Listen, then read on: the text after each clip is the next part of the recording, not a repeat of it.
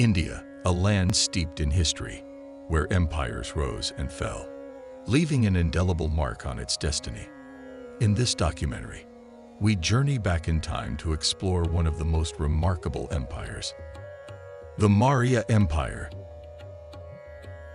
Our story begins in the 4th century BCE, a time when the Indian subcontinent was a mosaic of small kingdoms and republics.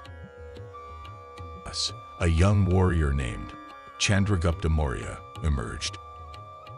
Chandragupta Maurya crossed paths with the brilliant strategist Chanakya, who saw the potential for a united India. Together, Chandragupta and Chanakya forged alliances with other regional leaders, laying the foundation for a powerful empire. Chandragupta's forces laid siege to the capital city of Magadha, a turning point in his quest for supremacy. His combined army crushed the city defenders. The Nanda king fled the city out of fear living its population under the mercy of Chandragupta. After the capture of Magadha, Chandragupta Maurya was crowned as the first emperor of the Maurya Empire. The Mauryan Empire was known for its formidable army, equipped with advanced weapons and strategies. Guided by the wisdom of his mentor Chanakya, Chandragupta embarked on a quest to unite India and create a grand empire. The Mauryan Empire reached its zenith under the rule of Ashoka the Great, Chandragupta's grandson. Ashoka's reign transformed the empire and India itself. Ashoka the Great is one of the greatest emperor of Mauryan dynasty and is believed to conquer almost all of the Indian subcontinent, making Mauryan Empire one of the largest and greatest empires in the world by then. He was also known for his sadistic rules for the criminal. The Kalinga War, a pivotal moment in Ashoka's life, led to his conversion to Buddhism. He embraced the principles of Dharma, marking the new era of ethical governance and religious tolerance.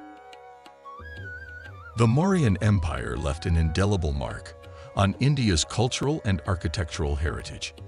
The city of Pataliputra, a marvel of urban planning, stood as a testament to their architectural prowess. The designs used in the Pataliputra capital are echoed by other known examples of Maurya architecture, especially the pillars of Ashoka.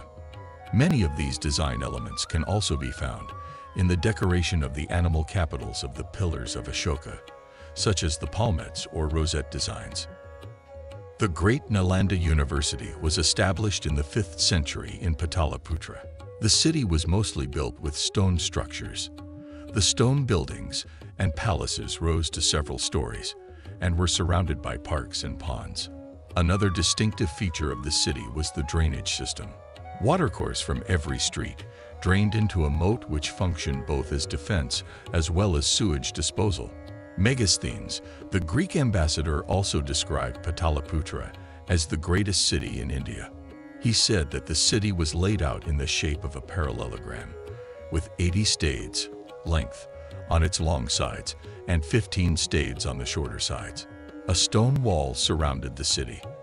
According to travelers, this wall had 570 towers and 64 gates. Beyond the wall was a deep trench, which was used for defense and as a sewage system.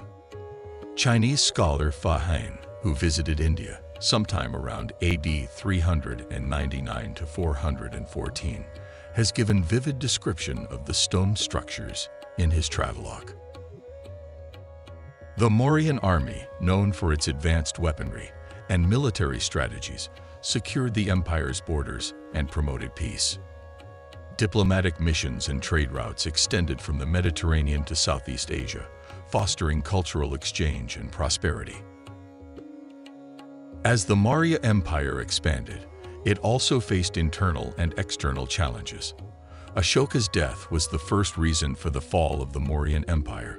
His descendants were not capable of managing such a vast kingdom and could not retain the ideology of Dhamma. Yet, the Mauryan legacy endures through the ages. Ashoka's principles of peace and ethical governance continue to shape India's identity. The Maurya Empire's rise, reign, and legacy remain a significant chapter in India's history.